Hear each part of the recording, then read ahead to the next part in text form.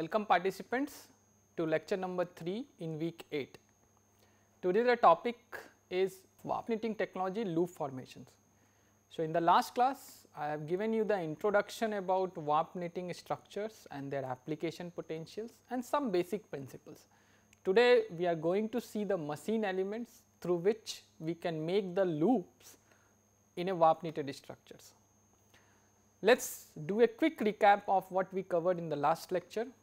We have seen how loops are connected in a warp structures. I already demonstrated you that the yarn in a warp structures follows the length direction that is why it is called warp knitting and each loop is connected with different courses in the structures. So, this is how this structure is different from a normal weft knitted structures. The structure is not that extensible, but the structure is highly porous compared to weft knit structure. We have seen uh, it can be used in many technical applications like in medical it can be used for mesh fabric, for hernia, uh, shoe knitting, for mosquito net fabrics, for cushioning applications and also in garmenting. There are many list of applications of warp knitted structures. You may follow other literatures to see the application potential of warp knitting. We also given more emphasis on how you can create different structures in warp knitting. The structural possibilities is unlimited and the designs are highly complicated. Some of the designs I will be covering in subsequent lectures, but similar to weft knitting, warp knitting also gives you a lot of flexibility in fabric designing and analysis. So, let us move to the loop production step in warp knitting because this is the foundation. If you understand the loop formation of any one of the structures that can be replicate for designing other complicated structures always. So, in this lecture I will be focusing on the loop formation of a very simple structure like this. This is the simplest one compared to other structure which is shown in the slides. So, if you understand the loop formation in one structures, others you can visualize and replicate. So, loop formation in a warp knit structures. So, before I move just a quick recap on the yarn movement in the fabric of warp knit this is the actual machines on which you are creating warp knit fabric, but unfortunately you would not be able to analyze anything out of it. So, this is you can see the fabric is being rolled down in a roller and this is where the loops are being created. So, at this moment it is really difficult for you to understand, but slowly slowly I will unfold each of these machine elements and each steps on of creation of a warp knit structures. Before I move on, I just want to recollect the yarn path which is being followed in a warp knit structure. So, in a warp knit structures we have seen like for the same needle in every alternating course it is catching different yarns. So, for example, if you see needle number C in first course it is catching Y1 yarn, in second course it is catching Y2 yarn, third course it is catching Y1 yarn and these yarns are provided by guide to this needle and these guides actually take the yarn from one needle to other needle. So, if you follow the path of one yarn for example, if you follow the path of black yarn you can easily see that in alternating courses it is shifting the position of needle. So, this in the second course it is this black yarn is with needle B, in third course it is with needle C and this is repeating. So, the guide is actually taking the yarn from one needle to other needle in subsequent courses and this is how you create the structure. And for providing yarn to each needle we have individual guides and these guides actually keep changing the location in every alternating courses. This is how you define or design a very simple warp knitted structures. So, the bottom line is the role of guide is extremely important because the movement of guide in subsequent courses will decide you how the loops in the structure will look like and what type of fabric designs you actually want to create. So, again I showed you um, how the role of guides and needles are uh, important in loop formation. For example, here in the first course needle N2 is making loop using the yarn from G2. In second course the G1 guide is providing loop to needle N2. In third course again G2 guide is providing yarns to needle N2 and similarly you are repeating the same thing. Why I am repeating these slides because once this thing is clear to you the next few slides will be very easy for you to understand. So, the bottom line is if you follow the path of guide or the yarn you can easily see in every alternating courses it is changing the location. So, in the first course it is with needle N2, in second course it is with needle N, N3, third course it is with needle N2 and fourth N3. So, this is how the guides shift locations. So, this is the fabric production in a slow motion I hope you can you can see it moves from left to right and then right to left. So, left to right and then right to left. So, this is how it is doing. So, left to right and right to left. Okay. So, it is shifting laterally left side and then right side. So, this is how the guides are actually changing the direction of yarn in every subsequent courses. I am now going to split each of these movements uh, for your understanding, but before we move on let us see what exactly is there in the knitting zone, which part is important and dominating in this knitting zone. So, it is the guide actually which provides yarn to a particular needle. So, if you see this schematic in the first course if you follow the path of this black yarn, this black yarn is interlaced with G3. So, the guide number G3 and the white one is guide number G2. So, in, in course number 1 if you see this is course number 1. So, this this loop is created by guide number G3. In course number 2 this loop is created by guide number G2 again in course number 3 G3. So, you can see how the guide bar is shifting position in every alternating course. So, for each needle two guides are coming and interacting during the fabric production and this is the guide through which you can pass the yarn um, and this guide can be shifting position during course formation. This is the normal machine the courtesy to the Karl Mayer which the machine from warp knitting technologies the most popular manufacturer around the world is Karl Mayer and this is the some of the videos which you can see. So, here the warp beams this is the structure which I already described. So, if you follow the path of one yarn you can actually see how the yarn path is moving. So, this is this is how it is moving. So, they are connected with different courses and and this structure is created by multiple yarn ends. So, these yarn ends are prepared on the creel or the beam you can see each yarns are going out and these yarns are actually feeded to the needle in this zone which so you can see this is the yarn which is provided to the needle and this is the guide through which you have passed the yarn.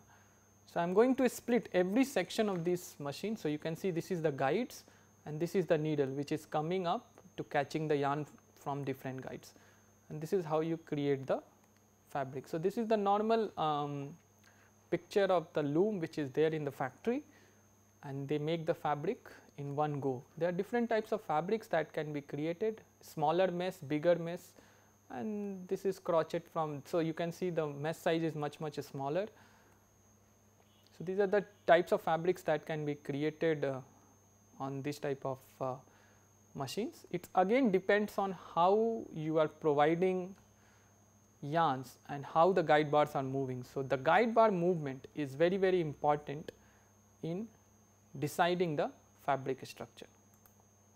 So, this is so even you can create lace pattern using warp knit structures. So, how do we actually make this fabric? So, I have demonstration on our machine which is there in our lab.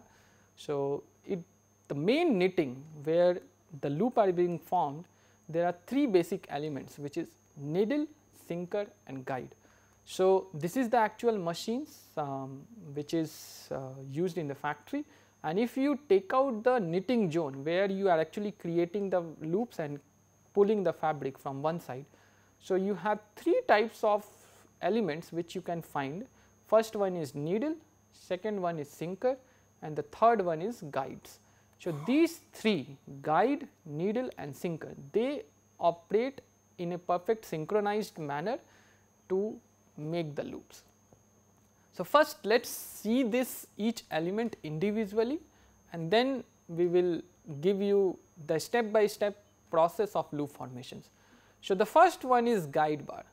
So, guide is nothing but it is similar to the heald frame. So, each yarn will be controlled by one guide and if there are many guides you can place these guides on a bar.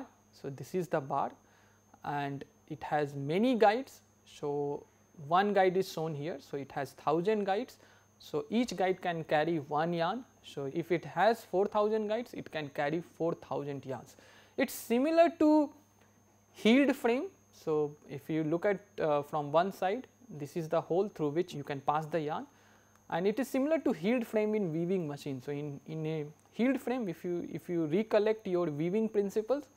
So, each warp yarns will be passed through the heald eye and uh, the heald wire is actually placed on a frame. So, this is the frame and on this, this frame there are multiple heald wires and through each wire you can pass each warp yarn. So, similar to heald frame here you have guide bar and if you give movement to this heald frame all the warp yarn which is associated with this particular heald frame will either go up or down. The same thing you can be doing here with the help of guide bar. So, if you move the guide bar left all the guides and all the warp yarn will be shifted left. If we are moving the guide bar towards right all the warp yarns which, which is there on the guide bar will be shifted towards right and if you swing it it will take the yarn to the front side of the needle. So, this is how the guide bar is important. For the knitting to be performed these three elements needle, sinker and guide are extremely important. So, the first one is needle bar, second one is sinker bar and third one is guide bar. In principle, if you recollect the needle placement on a weft knitting, the movement of each needle was different. This is not the case with the warp knitting.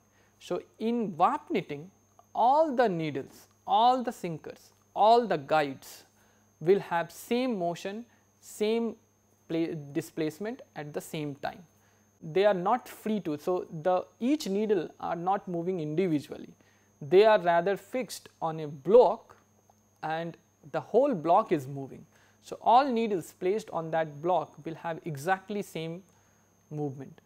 So, that is why the production of warp knitting is very very fast because at the same time you can engage needle to catch yarn at the same time you can engage all the needles to release old loop. So, the production of a warp knitting technologies is much much much faster than compared to weft knitting technologies. So, this is the three elements uh, which is uh, placed on the machines. So, guide bar, sinker bar and needle bar. So, this is one block of needle. So, this is the needle this is the needle which is moving up and down. The, the other block is this is the guide and the third block is the sinker. So, which is you can see this is the sinker. So, three blocks you can see it here. So, one is sinker, the first one is needle, sinker and this one is guide which is there on the top. So, this is guide, this one is sinker and which is moving up and down, this is needle. So, let me show you these uh, blocks before we move to the actual movement of loop formation. So, I have the three blocks of uh, needle, sinker and guide block. So, this is the sinker which so you can see there are many many sinkers which is placed.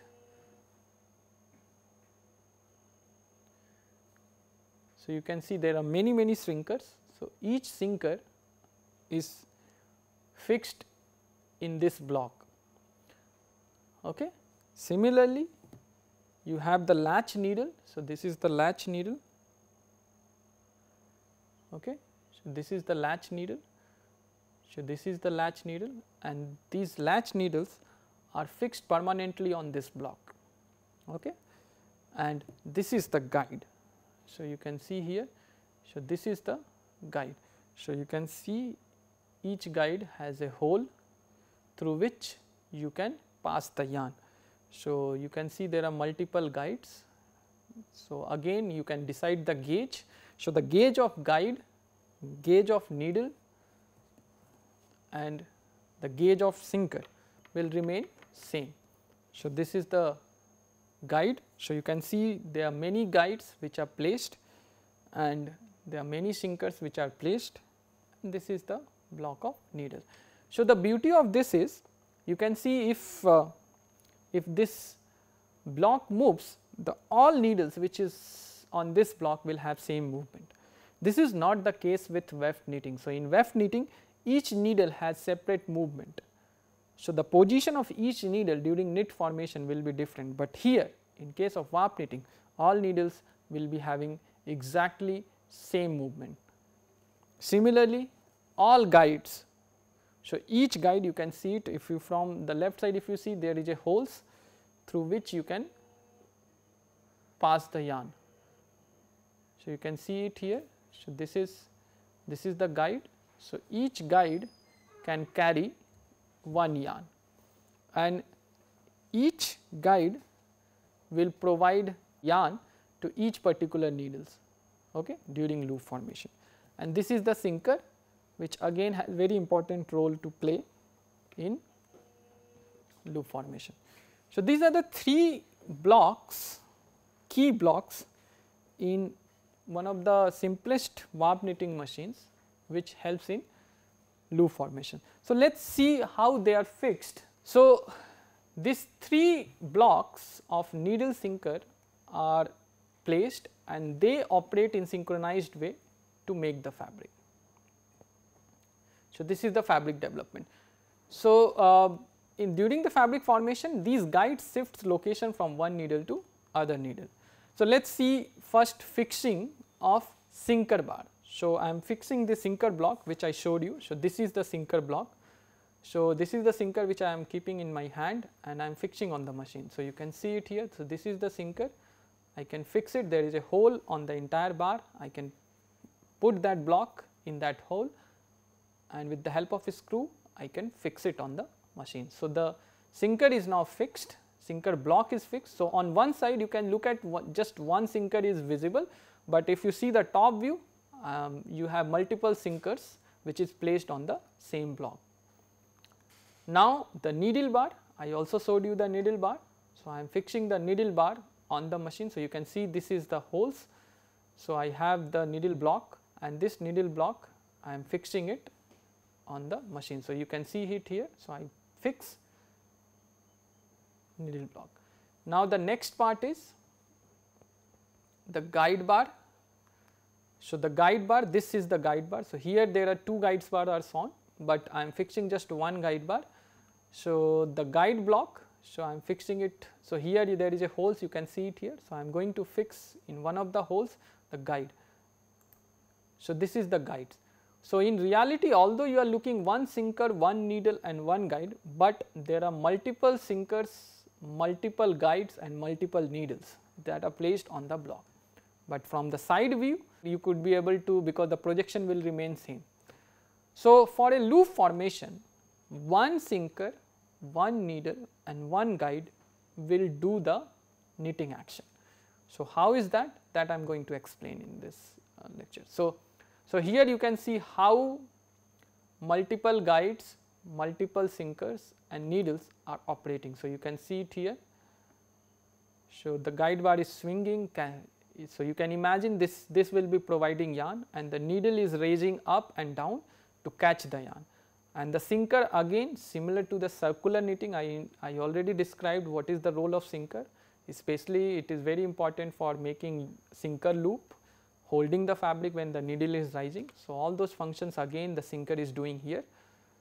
So, these three elements will be very very important in loop formation and whatever you are looking at in a slow motion it is actually on the machine it is happening at very high speed which you can see it here. So, in, in running condition it will be very very difficult to even imagine what exactly is happening at the machine level. So, so I am going to break down all of these movements for you to help you in loop formation. Okay. So, the key idea is which you are looking at here. So, each guide will be shifting between two needles in every course. So, I have already showed you this.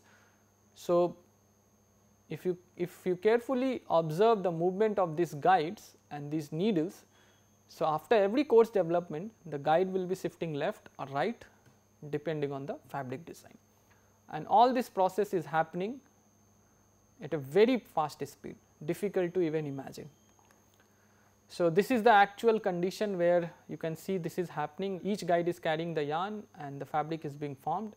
So, you can see this is the yarn and these the guides is there they are supplying yarns to the needles in alternating courses. Uh, this is the very dense fabric which is being created the other fabric here you can also see the same thing, but the density is much bigger. So, again it again depends on the design what type of design and what type of motions you have given to guide bar for the fabric development. So, the guide bar movement and needle and sinker movement are synchronized properly for fabric productions. In most of the warp knitting technologies you will find guide bar and needle as well as sinker all working simultaneously for loop formations. So, in, in the market there will be two type of technologies which you will find out in warp knitting. First one is tricot machine and the second one is raschel machines. The name is just the name, but ideally speaking the principle of loop formation remains same. It, there will be interaction of needle and guide in both the machines. So, here um, in tricot machine you have the sinker, needle and guides they will be working which I showed you and in raschel machines um, sinker will have different shape uh, there will be a additional bed which will be helpful in fabric pooling. So, this is the raschel machine and this is the tricot machines. So, let us understand the principle of first tricot machines, what exactly is happening in every course in terms of movement of guide with respect to needle and sinker. And then we will move to the raschel machine. So, sequence of loop formation on tricot machines. So, as I mentioned for making a loop in a warp knit structure, you need three elements one is needle, one guide to supply yarn and sinker to help in loop formation. So, these three elements is a must. So, before the formation of loop formation, the guide is actually standing at the back side of the needle. So, this if this is the needle and if you are assuming the front side on the left side of this figure then the guide is standing on the back side of the needle. So, it is not facing the head of the needle. So, this is the uh, needle if you take the top view. So, this is the needle the guide is standing somewhere at the back side and the needle is there on the front side. So, I can show you um, the position actually you can imagine this is the needle. So, this is the front side because the latch is uh, latch is there. So, you can see this is the latch and so this is this is the back side of the needle and in reality the guide bar will be standing like this on the back side and the guide bar actually swings from back side to front side. This is the front side of the needle and this is the back side of the needle and the guide bar is standing here which will be shifting from back side to front side. Okay. So, this is what is shown in the animation. So, here you have the needle uh, and here you have the guide. So, guide bar is actually before we starting the loop formation guide bar is at the back side of the needle. So, this guide will be carrying one yarn because one needle will be taking one yarn for loop formation. After that the guide is shifting from left side to right side it means it is moving from back side of the needle to front side. So, this is the actual swinging. So, here actually the guide is taking the yarn towards the front side of the needle okay. and how this guide bar moves it, it moves through the space between two consecutive needles. So, if the guide bar is also 14 so they are placed in such a way that the guide can swing in between the needles space. So, this guide one guide is shifted in between the needle space and swing from back side to front side. So, guide bar actually swings from back side to front side to take the yarn.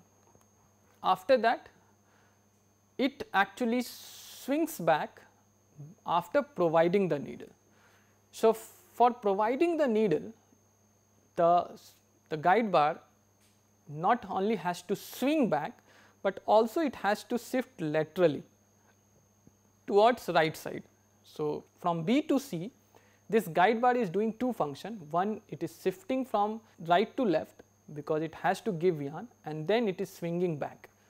So, this process it is actually shifting laterally as well as it is doing swinging. So, in this way it can provide the yarn to the needle. So, guide swings yarn from one to the needle and swings back. So, two movements it is doing lateral movement and swinging movement.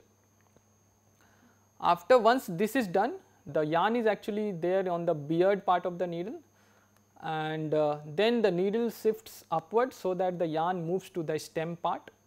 So, this is the stem part.